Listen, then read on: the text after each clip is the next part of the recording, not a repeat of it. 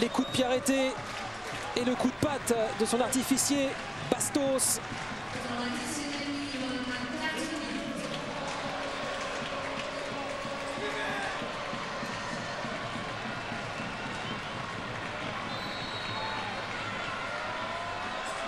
Bastos a sans doute l'égalisation au bout du pied. Il a l'égalisation lilloise. Juste, juste dans le temps additionnel. Michel Bastos qui délivre le stadium. Ah, décidément, c'était un match euh, de coups de pied arrêtés. Frappe super puissante de Michel Bastos.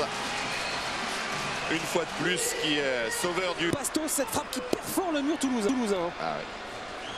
Il y aura 4 minutes de temps additionnel, Superbe monsieur. 4 frappe, minutes. hein. euh, coup de pied qui passe avec un peu de réussite dans un mur toulousain qui s'est malheureusement effrité, qui a sauté. Et Johan Carasso impuissant derrière. Et Bastos impliqué dans plus de la moitié des buts euh, du LOSC redonne espoir. Alors qu'on vous a entendu, euh, Philippe, on entre dans le temps additionnel, 4 minutes peut-être, pour donner un vainqueur à cette rencontre.